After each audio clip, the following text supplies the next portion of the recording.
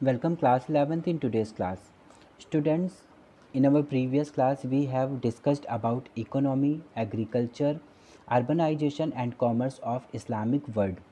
हम लोगों ने इस्लामिक वर्ल्ड के इकोनॉमी के बारे में पढ़ा हमने पढ़ा डिफरेंट इकोनॉमिकल एक्टिविटीज़ के बारे में कि किस तरह से वहाँ पर एक वास्ट एरिया को रूल करने के लिए कौन कौन से इकोनॉमिक एक्टिविटीज़ हो रहे थे और किस तरह से रिसोर्सेज को यूज़ किया जा रहा था है ना and today we will continue our study with learning and culture of Islamic world हम पढ़ेंगे कि इस्लामिक वर्ल्ड के कल्चर क्या था लर्निंग कैसी थी उस टाइम पर जिस समय हमने की बात हमने इस चैप्टर में करा हुआ है ना? तो सब कुछ हम पढ़ेंगे। ये हमारा लास्ट टॉपिक होने वाला है। लेकिन ये टॉपिक क्योंकि थोड़ा सा ज़्यादा लेंदी है, यहाँ पर बहुत ज़्यादा चीज़ें हैं, बहुत ज़्यादा चीज़ें डिस्कस करने को हैं तो हम इसे दो पार्ट्स में पढ़ेंगे।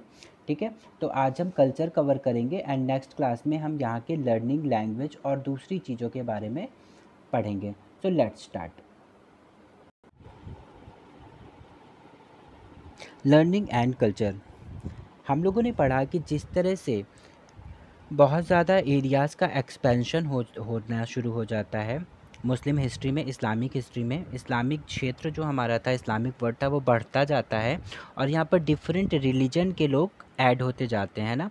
यानी सोसाइटी के अंदर बहुत सारे अलग अलग रिलीजन के लोग देखने को मिलते हैं, है ना। अब ये सारे लोग एक दूसरे के साथ कांटेक्ट करते हैं, मुस्लिम्स के साथ कांटेक्ट करते हैं, जो कि मुस्लिम रूलर्स यहाँ पर थे, उनके लोगों के साथ कांटेक्ट करते हैं। और कांटेक्ट करने के बाद अब जब सब लोग मिलते हैं तो कुछ कॉमन क्वेश्चंस थे जो जो सबके मन में आ रहा था, जो वो मुस्लिम्स से पूछना चाहते थे, है ना? क्योंकि मुस्लिम सबको जोड़ना जोड़ने की बात कर रहे थे, वो चाहते थे कि सभी इस्लाम में कन्वर्ट हो जाएँ। तो उसके लिए कुछ क्वेश्चंस थे कॉमन क्वेश्चंस जो लोग उनसे पूछते थे, और वो सभी लोग ऑब्लाइज्ड थे। सभी बाध्य थे बिल्कुल उन सभी चीज़ों के, उन क्वेश्चंस के, को आंसर करने के लिए। जैसे कुछ कॉमन क्वेश्चंस क्या थे कि लोग ये पूछते थे कि गॉड कौन है? या फिर गॉड ने हम गॉड को हमसे क्या चाह, चाहिए? गॉड क्या चाहते हैं कि हम किस तरह के वर्क करें, किस तरह के एक्टिविटीज़ करें? और हमारे, इस तरह के क्रिएशन जो गॉड ने बनाया हुआ है, उसके पीछे का गॉड का एम क्या है? है ना? कुछ ये कॉमन क्वेश्चन थे जो सभी लोग जानना चाहते थे। अब इस टाइम पर ये सारे जो उस, जो मुस्लिम लर्न करे हुए लोग थे, जो बहुत ज़्यादा नॉलेज लोग थे, जो बहुत ज़्यादा ज्ञानी लोग थे उस टाइम के, जो स्कॉलर्स थे, जिनको इस्लामिक जो नॉलेज थी, वो बहुत ज़्यादा अच्छे से पता थी, है ना? वो सभी लोग क्या करते थे? इन सब का आंसर देते थे। वो सबको जोड़ने के लिए सबके क्वेश्चंस का आंसर करते थे और सबकी क्यूरियास क्यूरियासिटी को शांत करते थे। सबके जो क्वेरीज होते थे डाउट्स होते थे, उनको सॉल्व करते थे। जिससे ज़्यादा से ज़्यादा लोग जो जब सेटिस्फाइड हो जाते थे उनके आंसर्स के साथ तो वो उनके साथ कनेक्ट कर पाते थे और इस्लाम को ज्वाइन कर लेते थे। तो इस तरह से जो डिफरेंट कल्चर के लोग थे डिफरेंट रिलीजन के लोग थे, वो एक होना शुरू हो जाते हैं। अब ये सारी जो बातें बताते थे लोग, उन स्कॉलर्स को उलेमास कहा जाता था, जो रिलीजियस स्कॉलर्स थे, जो लोगों की क्यूरियोसिटीज़ को शांत कर रहे हैं, उनके आंसर्स दे रहे हैं रिलीजियस क्वेश्चंस के आंसर्स दे रहे हैं, वो स्कॉलर्स रिलीजियस स्कॉलर्स उलेमास कहलाते थे। और वो जिस तरह की भी नॉलेज देते थे, उस नॉलेज को इल्म कहा जाता था। अब ये, इनको ये नॉलेज कहाँ से आती थी? इनको ये नॉलेज आती थी कुरान से, जो कि एक पवित्र बुक है होली कुरान है ना? तो वो कुरान बुक के को स्टडी करके इन लोगों को वो सारे इल्म या वो सारी नॉलेज मालूम होती थी, जो उलेमाज लोगों, लोग सभी को देते थे, है ना? इनके अलावा उन्होंने और कहाँ से सीखा? अच्छी और बुरी चीज़ें। और जो नॉलेज थी वो उन्होंने सीखा था प्रॉफिट मोहम्मद के जो भी बिहेवियर्स थे उन पे, जो भी एक्टिविटीज़ वो करते थे, जिस तरह से बताते थे, जिन चीज़ों को वो अच्छा या बुरा बताते थे, उन चीज़ों को के बेसिस पे, उनका जो मॉडल बिहेवियर था, उसके बेसिस पे कुछ चीज़ें बताई जाती थी, है ना? तो ये जो बिहेवियर था प्रॉफिट का, उसको सुनना कहा जाता था, ठीक है? तो इनका बिहेवियर और कुरान, इन दोनों के बेसिस पे ही रिलीजियस स्कॉलर्स लोगों को इल्म या नॉलेज दिया करते थे। ठीक है? अब इस टाइम पर the Ulema in medieval times devoted themselves to writing तफसीर एंड डॉक्यूमेंटिंग मोहम्मद ऑथेंटिक हदीत मोहम्मद साहब ने बहुत सारा ज्ञान दिया था, लोगों को जो भी मैसेजेस दिए थे उसको हदीत कहा जाता है। ठीक है? तो ये जो उलेमास थे, इन्हें पता था कि आज, अभी तो हम ओरली सबको सारी चीज़ें बता पा रहे हैं, ठीक है? एक टाइम आएगा जब ओरली दे पाना पॉसिबल नहीं होगा। एक साथ हम बहुत सारे लोगों को ओरली नहीं, एक ही बात बता सकते हैं ना? तो अगर ये सारी चीज़ें लिखित होगी रिटर्न होगी तो वो बहुत तेज़ी के साथ स्प्रेड हो सकती है लोगों के बीच में, है ना? तो जो भी चीज़ें थी, जो भी इंफॉर्मेशन जो भी नॉलेज थी उन लोगों को, उसको तफसीर कहा गया जब इसे राइट डाउन कर लिया गया। और मोहम्मद साहब का जो हदीत था या यानी उनके जो मैसेजेस थे, उसको भी डॉक्यूमेंटेशन कर दिया गया, उसको भी लिख दिया गया, ताकि ज़्यादा से ज़्यादा तक लोगों के पास तक वो पहुँच सके। इनके अलावा बॉडी ऑफ़ लॉ या शरिया भी प्रिपेयर किया गया, जिसे स्ट्रेट पाथ कहा गया। ठीक है? इसमें क्या था? लॉ ऑफ़ शरिया लॉ या शरिया जो था बॉडी ऑफ़ लॉ और शरिया, इसका मतलब था कि एक नियम बनाना। ठीक है, जिसको शरिया कहा गया उस नियम को और कहा गया कि ये नियम कैसा है, ये एक स्ट्रेट पाथ होगा, सीधा रास्ता होगा, जिसके थ्रू लोग क्या कर सकते हैं कनेक्ट कर कर सकते हैं खुद को गॉड के साथ, है ना? एक स्ट्रेट पाथ बताया गया कि अगर हम इस स्ट्रेट पाथ पर चलते हैं, ये यही चीज़ें करते हैं तो हम गॉड के साथ कनेक्ट कर पाएँगे। तो ये चीज़ें भी उस टाइम पर शुरू हुई। अब गॉड से रिलेटेड रिचुअल्स बताए गए। रिचुअल्स का मतलब यहाँ पर इबादत, यानी वर्शिप से है।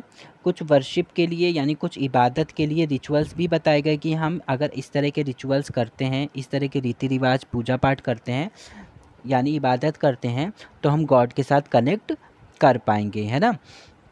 तो ये सारी चीज़ इसके अलावा जो ह्यूमैनिटी के लिए वर्क बताया गया सोशल अफेयर्स के लिए, जिसे मुआमला कहा गया और इसमें कहा गया कि लोगों की हेल्प करना, लोगों को अच्छा करना, अगर हम ये कर रहे हैं तो हम भी गॉड के साथ, तब भी गॉड के साथ कनेक्ट कर पा रहे हैं, है ना?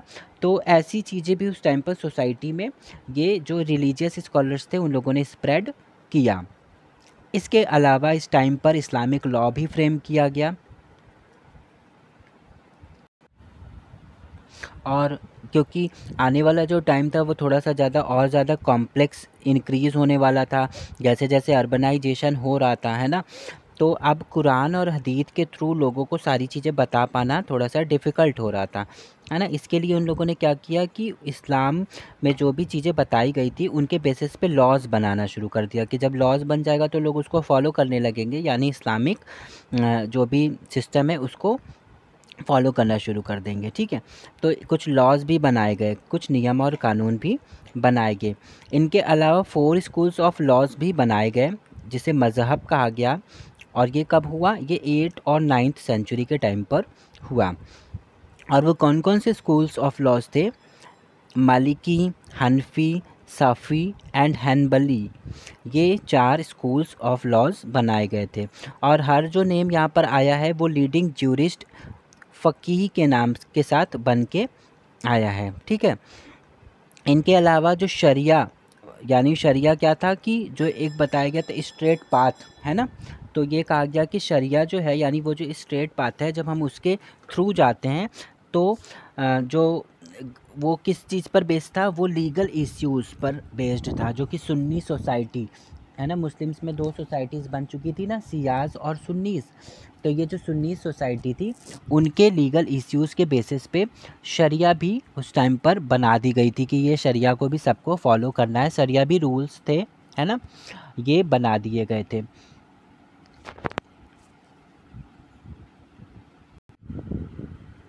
जिसमें कुछ जो रूल्स बताए गए थे, वो हर तरह के जो पर्सनल स्टेटस थे, उनके बेसिस पे भी बहुत सारे नियम और कानून बताए गए थे और अदर जो बेसिस थे, उन पे भी।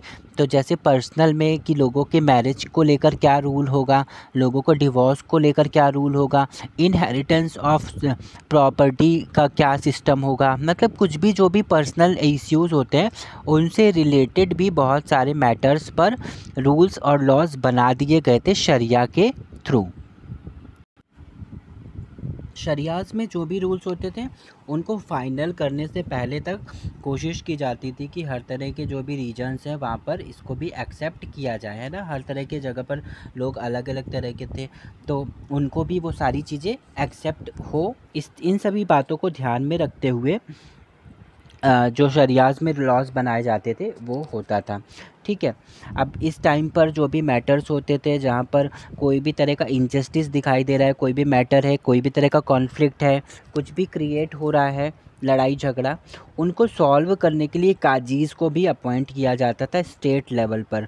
काजीज़ यानी जजेस होते थे वो एक तरह से, और इनको स्टेट पर हर स्टेट में, हर सिटी के अंदर, हर लोकेलिटी में इनको अपॉइंट किया जाता था, जो कि आर्बिट्रेटर यानी जो पंच होते हैं, ग्राम प्रधान जैसे आज के टाइम पे होते हैं, उस तरह से लोकल लेवल पर भी लोकल लेवल पर भी जो भी डिस्प्यूट्स हो रहे हैं कॉन्फ्लिक्ट्स हो रहे हैं, उनको भी सॉल्व करने के लिए अपॉइंट किया जाता था। और ये किन रूल्स के थ्रू जो भी जस्टिस बताते थे, वो करते थे, वो शरिया के थ्रू शरिया क्या? जो लॉ और नया ऑर्डर बताया गया था, है ना? इस्लामिक लॉ जिसको शरिया कहा गया था तो उन्हीं शरिया के बेसिस बेसिस पर ही वो काजी जो होते थे, वो अपना जजमेंट बताते थे। इनके अलावा इस टाइम पर कुछ रिलीजियस माइंड के लोग, लोगों का भी ग्रुप था, जो कि बहुत ज़्यादा धार्मिक थे। ये दिखाई देते हैं मेडिवल इस्लामिक टाइम पर। इनको सूफ़ीज़ कहा जाता है। ये कुछ ऐसे लोग थे, जिनको बहुत ज़्यादा पर्सनल नॉलेज थी गॉड के बारे में। ठीक है, जिसमें ये पूरी तरीके से एकदम तल्लीन होते थे, भावुक होते थे थोड़े से रहस्यवादी होते थे, मिस्टिसिज्म के साथ होते थे और मतलब ये पूरी तरीके से गॉड के डिवोटीज़ होते थे, ठीक है, ऐसे ग्रुप को सूफीज़ कहा जाता था, ठीक है।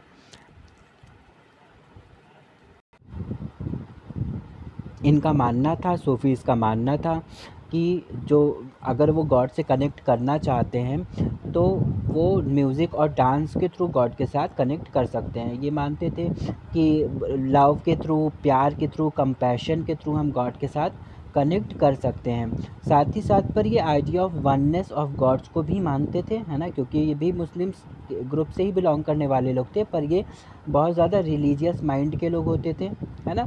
तो ये भी वन गॉड के कॉन्सेप्ट पे ही वर्क करते थे और इनका ये भी मानना था कि ह्यूमन सोल जो है, उसका मेकर गॉड है। मतलब गॉड ने ही ह्यूमन सोल बनाया है। और हमारा जो एम होना चाहिए, वो होना चाहिए कि हम सोल्स यानी हम ह्यूमन सोल्स का एम होना चाहिए कि हम एक टाइम ऐसा है, जब हम गॉड के साथ, यानी हमारे मेकर के साथ कनेक्ट कर सकें और उसी में यूनाइट हो जाएँ, उन्हीं के साथ जुड़ जाएँ, है ना? और इसी जो चीज़ थी, जो इंटेंस ऑफ़ लव गॉड के लिए उन्होंने बताया, इसको इश्क कहा जाता था।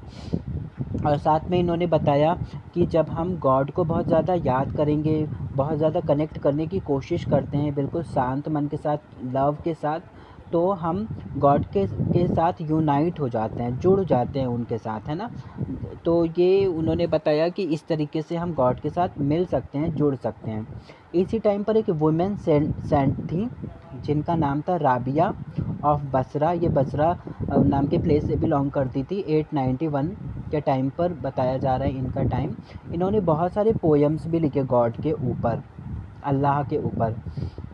इनके अलावा बायज़िद पिस्तामी, जो कि 874 का टाइम इनका बताया जाता है, ये ईरानियन सूफ़ी थे और इन्होंने बहुत ज़्यादा इम्पोर्टेंस बताई फ़ना हो जाने के लिए। फ़ना का मतलब होता था कि खुद को गॉड के साथ सब मर्ज कर दो, बिल्कुल मिल जाओ। मतलब गॉड को इतना ज़्यादा इमेजिन कर लो, इतना ज़्यादा गॉड के साथ कनेक्ट करने की कोशिश कर लो मेडिटेशन के थ्रू कि ऐसा फील हो कि हम गॉड के ही पार्ट हैं, है ना? सब मर्ज हो जाएँ, उसी में मिल जाएँ, जिसे फ़ना कहा गया, है ना? तो उन्होंने इस चीज़ की भी बहुत ज़्यादा इम्पोर्टेंस बताई गई। ये मानते थे कि जो डिवोशन का मेथड होता है, पूजा पाठ का जो भी रिचुअल करने का तरीका होता है, जिससे हम गॉड के साथ सबमर्ज हो सकते हैं कनेक्ट हो सकते हैं, वो था क्षमा। क्षमा का मतलब होता था म्यूज़िकल कॉन्सर्ट्स म्यूज़िक के थ्रू गीत, संगीत के थ्रू हम गॉड के साथ कनेक्ट हो सकते थे, है ना? तो यही जो म्यूज़िकल कॉन्सर्ट्स हो रहे थे, करते थे, वो उसको समा नाम दिया गया। और ये जो सॉन्ग्स होते थे, ये बहुत ज़्यादा इमोशनल सॉन्ग्स होते थे। लव लव और पैशन पर बेस्ड हुआ करते थे। ये जो नया मुस्लिम ग्रुप था सूफीज़ का, ये ओपन था सभी के लिए। हर तरह के लोग, बिना किसी भी रिलीजियस एफिलिएशन के सभी इसके साथ जुड़ सकते थे। सभी के लिए ये ओपन था। कोई भी जेंडर का स्टेटस या किसी भी स्टेटस यहाँ पर नहीं था। हर तरह के लोग जुड़ सकते थे। मेल फीमेल अमीर, गरीब, हर तरह के लोग, चाहे वो मुस्लिम्स हों नॉन मुस्लिम्स हों, सभी तरह के लोग सूफिज़म में आ सकते थे। ढुलनन मिस्री, जिनका टाइम 861 बताया जाता है, इनका जो ग्रेव है, यानी इनकी जो कब्र है, आज के टाइम पर भी इजिप्ट के पिरामिड के पास है, सुरक्षित है, पाई जाती है। और ये बताया जाता है कि ये जो अब्बासिद कैलिफ थे अल मुतवक्किल उनके टाइम के हैं, और इन्होंने ये भी बताया है कि इनको जो ट्रूल इस्लाम के बारे में, कि सच में इस्लाम है क्या, एक ओल्ड वीमेन से पता चला है है ना? तो इस तरह से जो सूफिज़म है, उसको पाया जाता है कि सूफिज़म भी उस टाइम पर बहुत ज़ोर से, बहुत ज़्यादा अच्छे तरीके से एक्टिव ग्रुप था, जो कि लोगों को अपने साथ कनेक्ट कर रहा था, जोड़ रहा था और एक नए तरीके से गॉड के साथ कनेक्ट करने की बात कर रहा था। अब इस टाइम पर जो सूफ़ीज़ थे, वो बहुत ज़्यादा पॉपुलैरिटी को गेन कर रहे थे, बहुत ज़्यादा पॉपुलर हो गए थे, बहुत ज़्यादा लोग इनके साथ कनेक्ट कर रहे थे, जिसके वजह से जो ऑर्थोडॉक्स इस्लाम थे, यानी जो इनसे पहले के जो अभी तक हमारे इस्लाम लोग चल रहे थे, उनको कुछ चैलेंजेस भी फेस करने पड़े। अब लोग, इनकी पॉपुलैरिटी की वजह से बहुत से लोग सूफिज़म की तरफ़ भी जा रहे थे। यानी जो इस्लामिक वर्ड था, जहाँ पर अभी हमने देखा कि पूरा इस्लाम पहले एक ग्रुप था, फिर ये डिवाइड हुआ सियाज़ और सुन्नीज़ में। देन हम देख रहे हैं कि कुछ सियाज़ और सुन्नीज़ अब सूफ़ीज़ की तरफ़ कन्वर्ट हो रहे हैं ना? तो ये तीसरा ग्रुप अब बनता हुआ दिखाई दे रहा था, जो कि ऑर्थोडॉक्स इस्लाम के लिए चैलेंज था। इस टाइम पर जो गॉड का अल्टरनेटिव विज़न था, है ना? उसको ध्यान में रखते हुए जो इस्लामिक फ़िलासफ़र्स और साइंटिस्ट लोग थे, उन लोगों ने बहुत सारी जो मतलब राइटिंग वर्क भी किया इस टाइम पर। तो ग्रीक फ़िलासफ़ी और साइंस से इन्फ्लुएंस्ड होकर उस टाइम पर बहुत सारा राइटिंग वर्क किया गया सेवेंथ और सेंचुरी के टाइम पर। In the schools of Alexandria, Syria, and Mesopotamia, once part of Alexander's empire, Greek philosophy, mathematics, and medicine were taught along with other subjects. इस टाइम पर जो स्कूल्स कॉलेजेस थे वहाँ पर मैथमेटिक्स मेडिसिन ग्रीक फ़िलासफ़ी भी पढ़ाई जानी शुरू हो गई क्योंकि इस टाइम पर ग्रीक फ़िलासफ़ी भी बहुत ज़्यादा फ्लॉरिश हो रही थी और स्प्रेड हो रही थी इस टाइम पर जो उम्मयाद और अब्बासिद कैलिफ थे, इन लोगों ने ट्रांसलेशन वर्क पर भी बहुत ज़्यादा फोकस किया और ग्रीक और सीरियन बुक्स का अरबिक लैंग्वेज में भी ट्रांसलेशन कराया गया था, है ना?